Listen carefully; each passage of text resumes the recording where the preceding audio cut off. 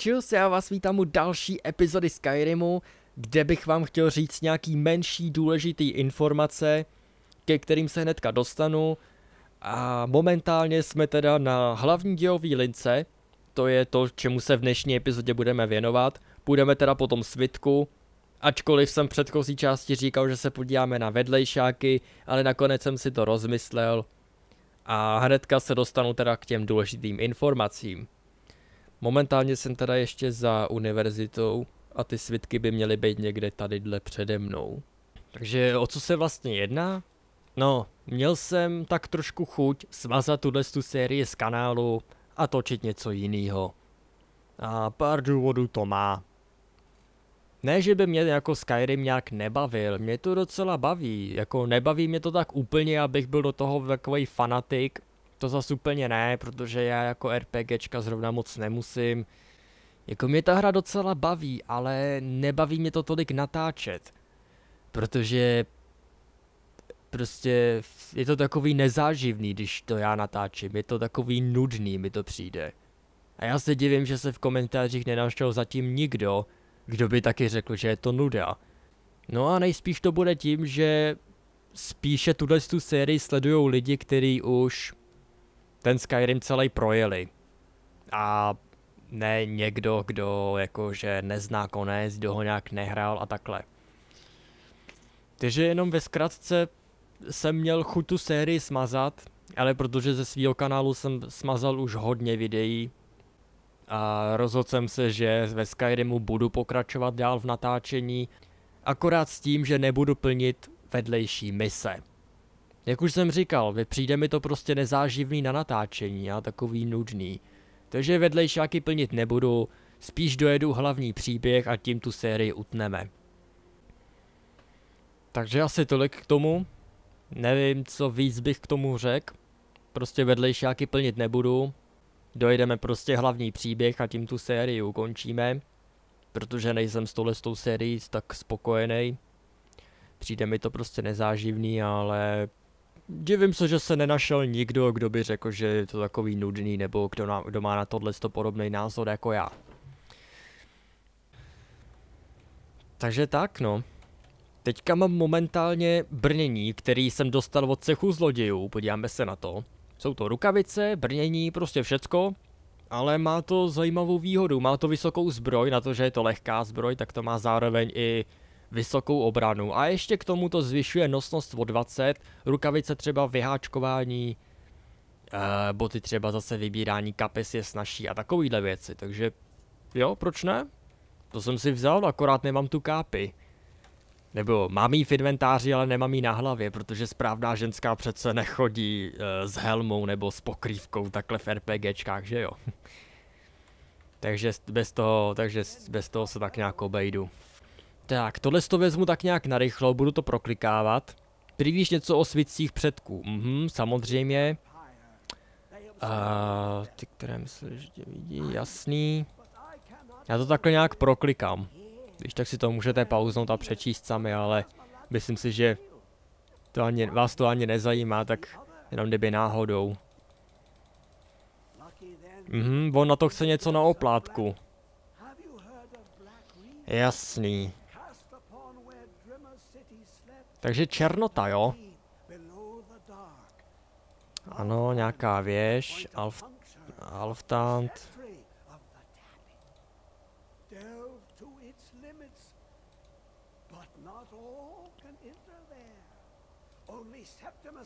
two things I have for you.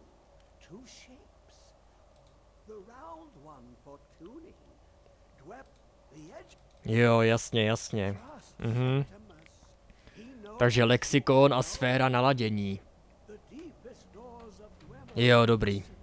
Já jsem to chtěl tak nějak proklikat, protože kdybych to neodklikával ty dialogy, tak to by zase trvalo, to by zase bylo v polovině videa.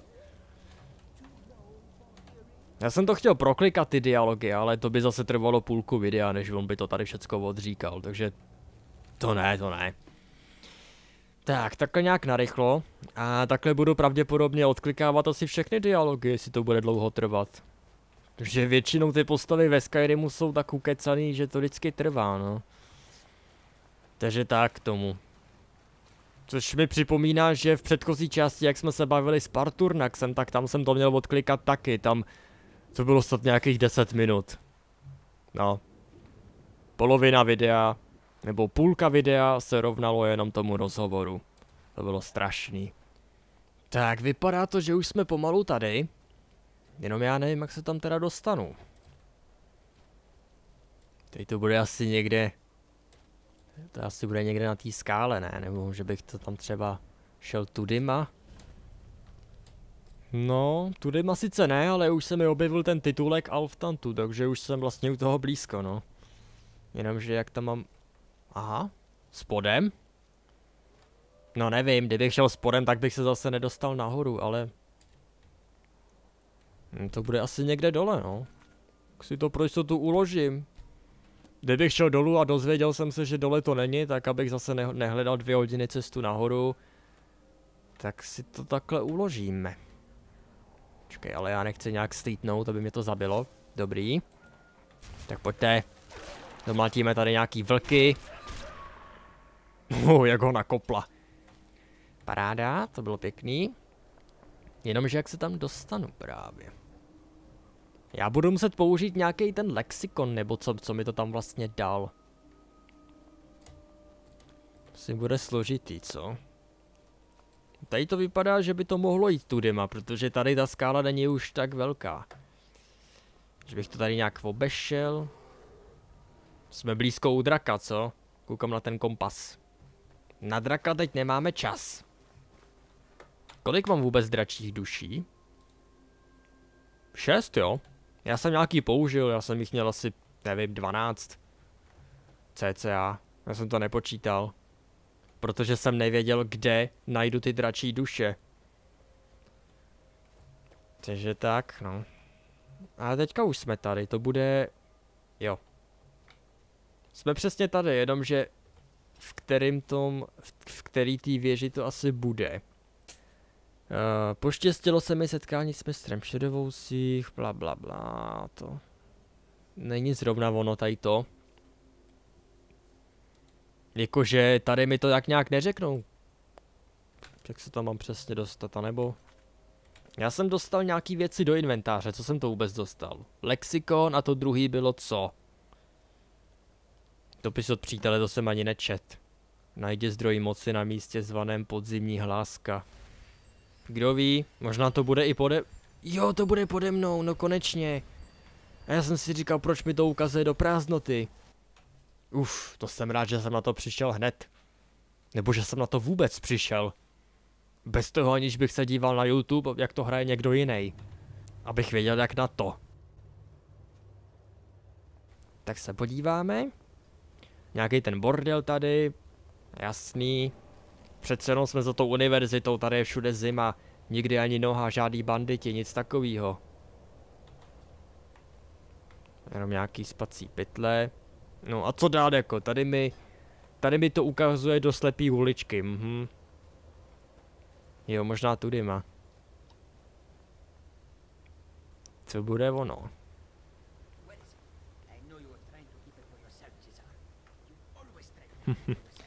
Tady už na nás někdo mluví. Haha, shut up, shut up. No jo, no, nemáš kecat blbosti. Tak počkej, co tu máme? Nějaká lucerna, to použít nemůžu.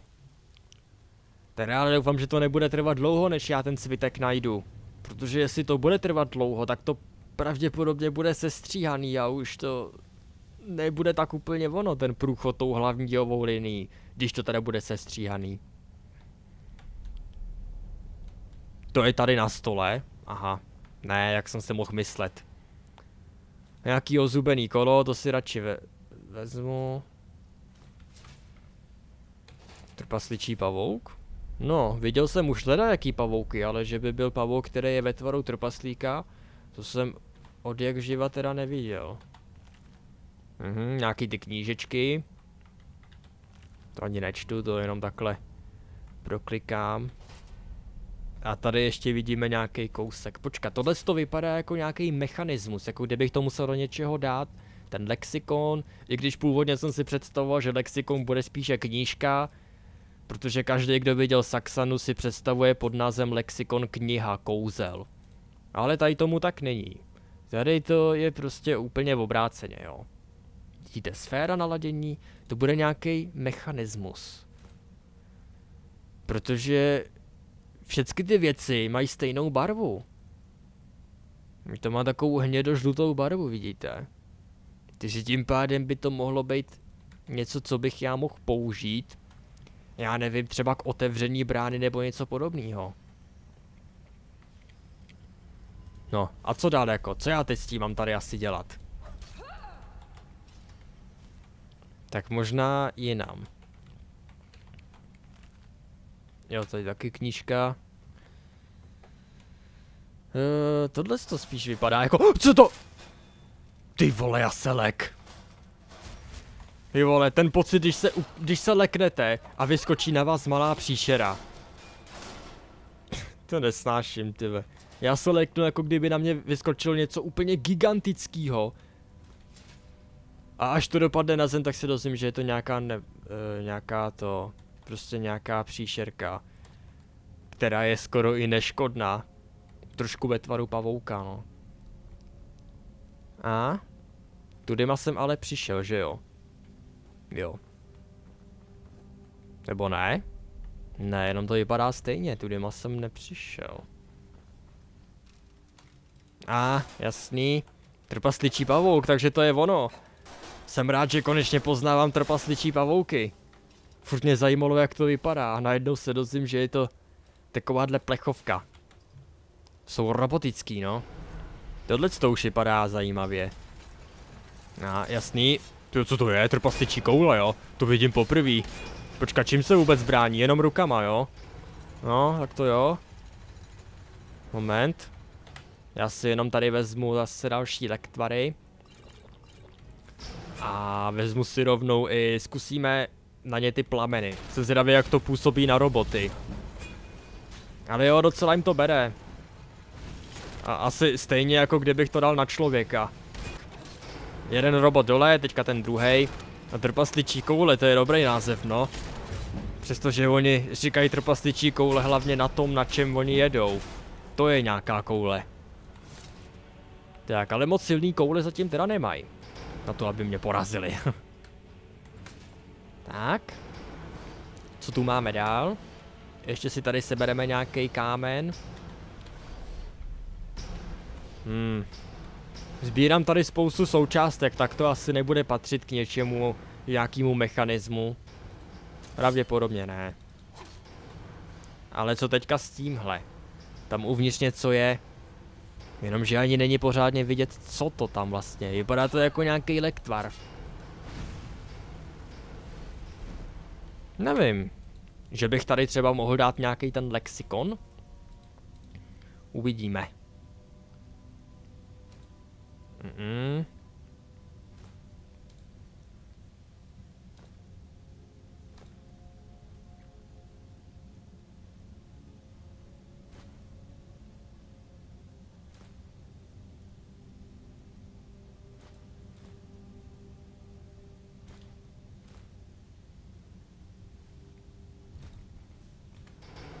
Ne. Tak nevím, co teda s tímhle s tím mám dělat. No nevím, no, jdeme dál. Uvidíme, co, na mě, co si tady na mě ještě připravili ty trpaslíci. Tak. Aha, tady máme zase něco podobného.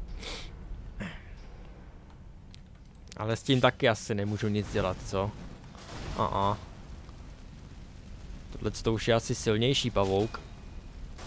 Má docela dost životů oproti těm ostatním, nebo no, asi moc ne. Tím těžkým útokem jsem mu sebral polovinu. Pecka. Tak. Sbírat ty chujoviny už nebudu. Jenom některý. No, jak to vypadá tady? Nějaký potrubí za dobu komunismu. To nás teďka nezajímá. A, a sakra, mě zasla pochodeň. Tak, to byla docela náročná cesta tady to. Za tím svitkem. I když já jsem to prostříhal, tak to není ani nějak moc znát, že to bylo docela náročný a že to, že ta cesta vlastně byla docela dlouhá, ale Je to docela náročný tady to a už to točím docela dlouho. Tak, ale naštěstí to bude prostříhaný, aby to nebylo tak nudný. Tady jsou akorát jenom ty farmerové, což jsou nějaký skřeti podle těch špičatých uší, odhaduju. Jo, jasný. I když špičatý uši mají elfové, tak trošku, ale tady ty to mají mnohem víc než elfové. Tak, počkej. Si v tom stanu, jo. Jsou akorát jenom nějaký tyhle ty lučišníci. Některý jsou i magický. Dobrý. A můžeme jít dál, když se podíváme na mapu. Čeká, radši si to tady uložím. Tak, vypadá to, že už se k tomu svitku konečně dostáváme. Jo, Alftanská katedrála. To by mohlo být hnedka tady za rohem, co? Aspoň doufám, protože už to trvá docela dlouho. Jasně. Já přemýšlím, že o ten plamen docela něco ubral. Ty jsou blbí. Oni projdou přes ten plamen, aby jim to ubralo život. No jo, tady jsou blbci. Co já mám s tím pak dělat? Tak. Počkej. Počkej, zkusíme na ně tu magii. Já bych dal to odzbrojení. Taky dáme odzbrojit. Jak se to jmenuje? Ur rveš jeho zbraň? Tak to dáme. I když dám to jenom na jednoho, to vím, ale i, i tak mi to pomůže. Tak asi ne. On si tu zbraň hnedka sebral. Tak what the fuck? Tu máš. Tak a ten druhý. Dobrý. No tak když... Když ho odzbrojím, tak ho musím i sekat, nebo si tu zbraň zase rychle sebere zpátky. Ale jinak je to docela dobrá věc tady to. No neříkám, že je to nějak špatný, to vůbec ne. Tak, co tu máme ještě dál, tady to můžu nějak obejít. Tak je na čase, abych si vyměnil i zbraň, ne? Tu sekeru používám už hodně dlouho, tu už ani nemám nabitou. Už to mám vyčerpaný. Jako já si to nabít můžu, ale teďka to dělat nechci. Teďka chci spíše dát jinačí sekeru, tuhle tu. Tu jsem dostal za jeden úkol, cíl tropí 15 s poškozeným razem. Tak si ji vezmeme. Jo, mám to rovnou, jo dobrý, mám to takhle nastavený. A můžeme jít dál. Omlouvám se, že je to moc prostříhaný, ale kdyby to prostříhaný nebylo, tak by to trvalo dlouho a byla by to nuda. Jo, párkrát jsem tady zafejloval, no. Protože tam se objevil jeden silný robot, který mě zabil třeba na tři rány a proti tomu, proti tomu jsem prostě nemohl bojovat, když on mě takhle rychle zabije. Takže jsem kolem něho jenom proběh a utek jsem mu. Teda ale ten svitek trvá fakt dlouho jako tady to. Jsme sice v černoti, ale furt ještě nejsme u konce, no tady to mě naviguje k nějaký páce. No, co se stane? Vrátí mi to na začátek jako předtím? Aha, někam úplně jinam. Tady to trvá fakt dlouho, tady je několik... Tady ten obří labirint je snad nekonečný, ale bude to stát za to. Teďka už chápu, proč se nikdo neodvážil sebrat svitek, protože tady vidíte, kolik to stojí úsilí k tomu, abyste ho sebrali. Ale bude to stát za to, protože Aldín je naším cílem. No, nebo spíš Alduin, oni mu říkají Alduin, no, když to já to říkal spíše Aldín. Já z toho zase udělal i... To máme jako třeba nějak obejít, nebo že by tady třeba něco bylo. Ne, Jo, tady je nějaký můstek, já to budu muset nějak obejít, abych se dostal nahoru, co? No, kde až ten svitek může být, to fakt nevím teda. Ale trvá to fakt hodně dlouho. Tady jsou nějaký ozubený kola, ale oni se netočí. To by měli, ne? Aby, to něco, aby tady něco fungovalo. No, kdo ví. Já si to tady radši safenu. Kdyby náhodou.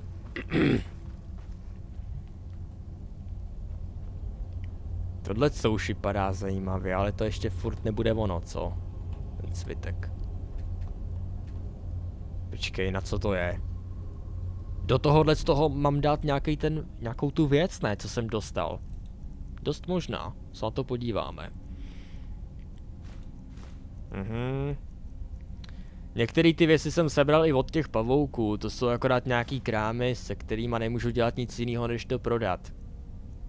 Což jsem já nevěděl, já jsem si původně myslel, že to mám na něco použít, na nějaký mechanismus nebo něco takového, ale pak tam toho bylo čím dál tím víc, tak už mi to bylo podezřelý, že je to k ničemu. Ne, nic, nejde to. Dostal jsem lexikon na sféru naladění a i tak to nejde. Tak nevím jako na co ty věci tam jsou. Ale ukazuje mi to tady na to. Tak nevím, co s tím mám dělat. Podle mě mám použít nějaký ten mechanismus. Na něco, ale nevím jako jak. Já když na to kliknu, tak se nic nestane. To prostě nefunguje, nebo že by... Čkej, tady tím něco spustím. Tlačítko.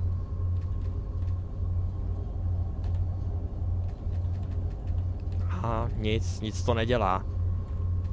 A nebo že bych to měl dát tady do toho. Taky možný. Ne, taky se nic nestane. Aha, tak už asi jo, já jsem to dal tady do toho. Čekej, a co se tím stalo jako? Jo. Tlačítka nefung... Aha, teď už. Ten, co tadyhle je, ten, co tadyhle trčí na tom podstavci. Jenomže já jsem tady nějak kombinoval ty tlačítka a přestalo to svítit. No hele, teď už. Jo, aha, já mám najít tu správnou kombinaci tlačítek a tím pádem už by to mohlo fungovat tady na ten podstavec, ne? Když, je, když jediný ten podstavec nesvítí. Hmm, tohle to je, ne, to není ve stejném stavu, i když jako ten hořejšek je ve stejném stavu, ale ten spodek už ne. Já to mám nějak překombinovat, abych se tam mohl dostat pomocí toho podstavce tam dole, ne? Jenomže teď jsem to zase nějak zamotalo. Taky ne. Klasika. Samozřejmě, že to nejde. Tak taky jinak, co? Ale teďka ty všechny tlačítka svítí. Možná, že teď, když ten lexikon vezmu. Jo, zároveň, ale to, ono to nejde vlastně. Tak zkusíme teďka ten prostřední. I když to taky teďka nejde. Tak tento. Že by?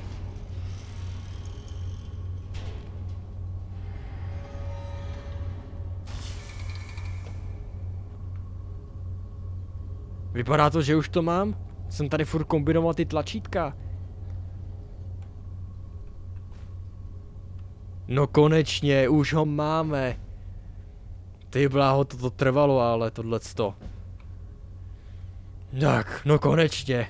Máme i achievement za to, že jsem to sebral. No, tohle to stálo hodně velký úsilí, tady toto.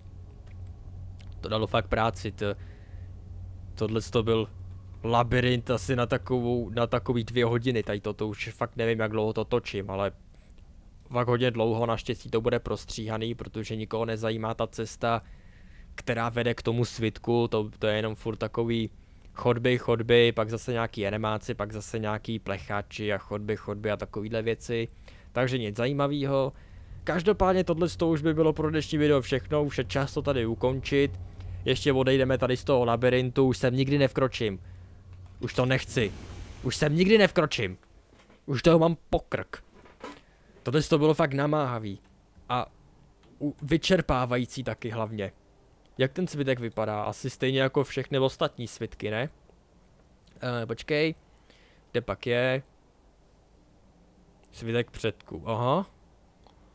Jo, on v tom bude srolovaný ten svitek, že jo? Jakoby, když se to tak řekne. Vy za to zatáhnete a potom se to nějak otevře, nebo nevím, nebo jestli to má být jenom takhle. Těžko říct. Každopádně já se to tady ukládám, tohle by teda bylo pro dnešní video všechno. Jako vždycky díky moc, že jste koukali i na tuhle tu extrémně nudnou část. Naštěstí to bylo prostříhaný a nebylo poznat, že to je tak dlouhý, jak se zdá. Ale je to opravdu dlouhý. Spíše teda ty cesty k tomu svitku, kolik to stálo úsilí a všechno, ale naštěstí ten svitek už konečně máme a můžeme se pustit na toho Alduina, pokud vůbec bude možnost. Co teď vůbec máme za úkol? Jo, donést svitek k, často, k časové trhlině a tím pádem už se setkáme asi s Parturnaxem možná. A náhledu tak do minulosti, kdy dávní rekové proti Alduinovi používali drakobijní řev. My potřebujeme tím pádem jít do minulosti, pak se vrátíme do přítomnosti a ten drak už bude mrtvej vlastně, když budeme cestovat časem, aspoň takhle to já vidím. Kdo ví, necháme se překvapit. Každopádně tohle by teda bylo všechno. Díky moc, že jste koukali, v popisku videa máte odkazy na facebookovou stránku AskFM, takže se můžete mrknout. Díky moc za sledování. A jak už jsem říkal na začátku videa, tak Skyrim dojedeme do konce, akorát s tím, že budeme plnit jenom hlavní questy a ne vedlejší, protože jeden vedlejší úkol je dosti vyčerpávající natolik, aby se to vešlo do jednoho videa. Takže jeden úkol se vejde do jednoho videa, s tím, že by to bylo hodně prostříhaný, tak by se vešel i druhý, ale většinou ty úkoly jsou prostě víc náročný a zase na druhou stranu i víc zábaví než ty hlavní. To se musí nechat, no. Takže ho dojedeme do konce jenom s hlavním příběhem, s vedlejšákama ne. A vedlejšáky si budu plnit jedině sám pro sebe, ale na video už pravděpodobně ne. Takže asi tolik k tomu. V popisku jsou ty odkazy. Já se loučím, díky moc, že jste koukali a u další části se uvidíme. Ciao.